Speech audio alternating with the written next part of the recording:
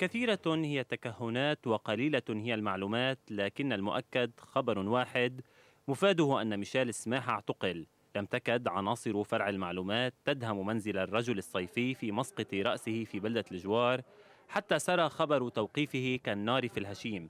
ففي البلدات المتنية التي يسود الهدوء والرتابة يوميات سكانها شكل اقتحام القوى الأمنية لمنزل شخصية سياسية أمرا غير مألوف.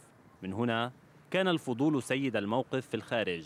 أما في الداخل فكانت العناصر المداهمة تعمد إلى القيام بعملية تفتيش دقيقة استمرت من الساعة السابعة والنصف صباحا حتى الثانية عشرة والنصف ظهرا. عملية التفتيش التي بدأت بعد توقيف سماحة وسائقه فارس بركات واقتيادهما إلى مبنى المديرية العامة لقوى الأمن الداخلي. انتهت بمصادرة عدد من الأغراض بينها أوراق وأشرطة فيديو ولم تكد القوى الأمنية تغادر المكان حتى تدفقت وسائل الإعلام إليه. حاملة سيلا من الأسئلة لم يبدو أن لدى أصحاب المكان أجوبة عليها. في معلومات قالت إنه لاقوا صواعق وشيء له علاقه لا لا لاقوا هونيك كلاشينكوف مجنزر عمره 100 سنة قاعد بخزانتي. ومغطى بنايلون وطلع فيه قال بقلبه 57 ضرب شيء من النوع. قاعد بين الصرامي باردون بالخزانة. هي الجهات الاخرى إيه اللي إيه. مع التحقيقات مدام مين يعني شهاد أخرى يعني هل في شخصيات معينه عم يتحقق معها إلى ما بعرف بدك؟ تساليهم بدك تساليهم لا لا لا لا لا لا طيب شو رح تعملوا لا، هلا شو رح تعملوا هلا بش قضائيا بدهم اياها قضائيا خليها تمشي قضائيا خليه يقولوا لنا شو السبب عنده كذا محامي موكلين. بس بدك تعرفي بأي موضوع توكلي لأن إحنا عارفين شو الموضوع مش عارفين شو الموضوع. طبعا. ليش؟ يعني لأنه هو يعني إلى جانب طبعا هو الأسد لا مش بس الأسد حتى بنص البلد بيمثل خط ميشيل سميحة. مش بس بشار الأسد في بقلب البلد خط سياسي ميشيل سميحة منتمي له كان في هونيك بعض الناس يعني أو بعض الجهات الحزبية هون بالمنطقة عم بيقولوا إنه ممكن يقطعوا الطرقات. بتوافقي على هيك تحرك لا ابدا. فلتكن قضائية وفلتكن آه، آه، أنا و... أنا إحنا مش سميحة في شي مرة سكر طرقات. هلا العالم تعمل رياكسيون وتعمل اللي بدها إياه. تم توقيف السائق كمان. إيه لأنه كان على البيت. مدام مزبوط اللي انحكى إنه له علاقة بموضوع النائب خالد الظاهر ومعين المرعبي بدك تسأل مخيل الظاهر والمسيو مرعبي أنت الأشخاص اللي فاتوا على البيت معكم كل لا لا لا لا. لا لا. عرفوا مين هني وقت أنا سألت.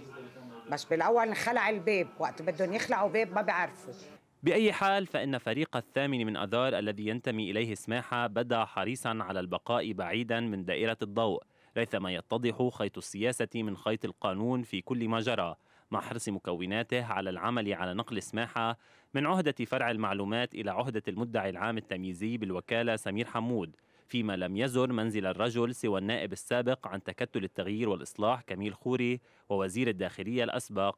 بشارة مرهج. أنا غير مقتنع بهذه الإجراءات إطلاقا. حسب ما فهمت من السيدة جلاديس زوجة الأستاذ ميشيل سماحة آه، الصديق آه، العزيز والشخصية السياسية البارزة كما فهمت منها. ومن أهالي الجوار ومن أهل الأستاذ ميشيل بأن الطريقة التي تصرف بها رجال الأمن لم تكن طريقة لائقة لا بقوى الأمن الداخلي ولا بالقوانين اللبنانية خصوصا؟ أن الدستور اللبناني يؤكد على حرمة المنزل نص عليها الدستور اللبناني. فلذلك دخول المنزل لا يمكن إلا أن يكون بطريقة قانونية كاملة. ما جرى كان مخالفا للأعراف والقوانين والإجراءات آه، القانونية. وكما في منزل سماحة الصيفي كذلك في منزله في الأشرفية تفتيش دقيق لمحتويات المنزل وزيارة تضامنية يتيمة للمدير العام للأمن العام الأسبق اللواء جميل السيد.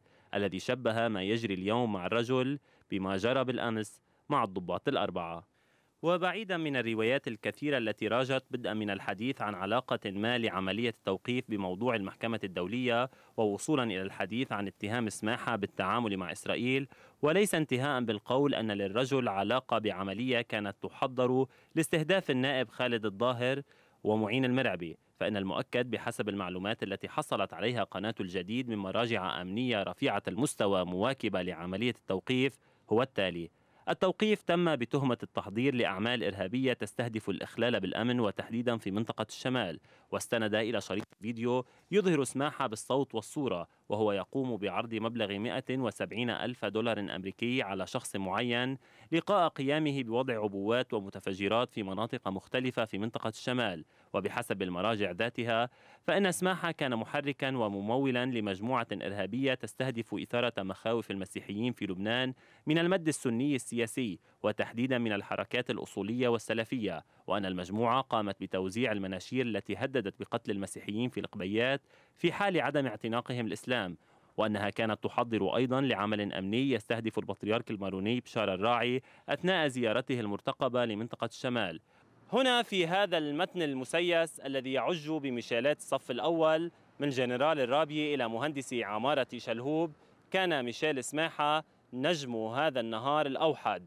اعتقل الرجل وبحوزته سلاحه الأهم. لسانه. أما ألسنة رموز الخط السياسي الذي ينتمي إليه فلا زالت أقله حتى الآن صامتة. من منطقة الجوار وتحديدا من أمام منزل الوزير والنائب السابق ميشيل سماحة. فراس حطوم قناة الجديد.